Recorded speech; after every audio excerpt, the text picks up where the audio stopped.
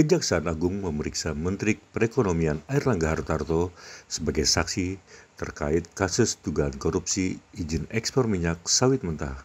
Menko Perekonomian Airlangga Hartarto masih menjalani pemeriksaan Kejaksaan Agung sebagai saksi di kasus mafia minyak goreng, yakni tindak pidana korupsi pemberian fasilitas ekspor crude palm oil atau CPO dan turunannya di industri kelapa sawit.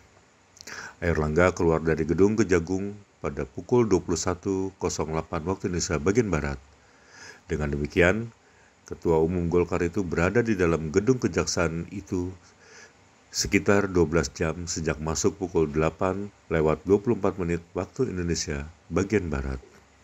Berikut pernyataan Airlangga Hartarto di depan gedung Kejaksaan Agung.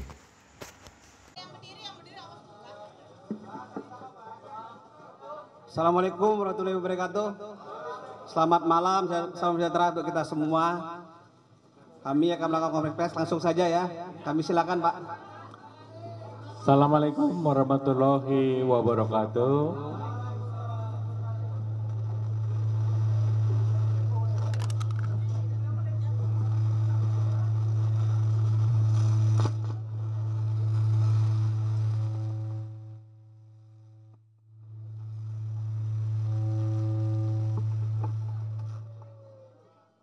Ya, terima kasih teman-teman media cetak, media elektronik.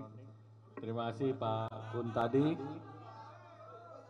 Pak Ketut selaku Kapus Pen. Saya hari ini hadir untuk menjawab pertanyaan-pertanyaan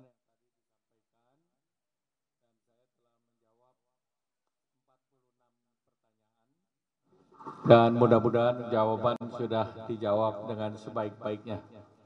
Hal-hal lain tentunya nanti penyidik yang akan menyampaikan atau menjelaskan. Terima kasih. Wassalamualaikum warahmatullahi wabarakatuh. Saya kira itu ya, nggak ada pertanyaan untuk beliau ya. Nanti kita yang menjelaskan semuanya. Silakan Bapak. Ya, terima kasih.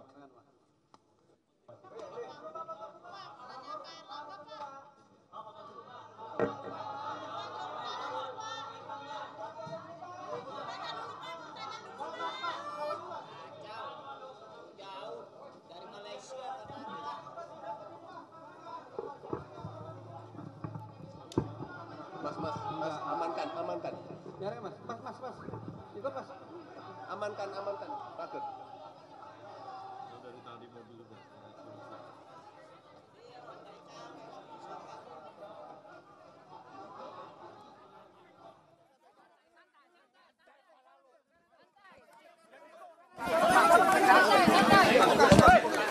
Buka jalan, eh.